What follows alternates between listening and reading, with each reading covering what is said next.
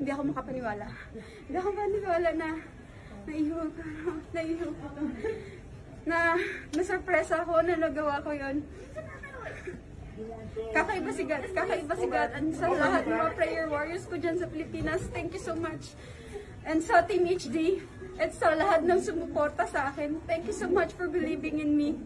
When the times na hindi ko na, alam mo yung gusto ko nang sumuko dahil sa dami ng pagsubok na pinagdaanan na kaya natin, kaya nating mga Pilipino.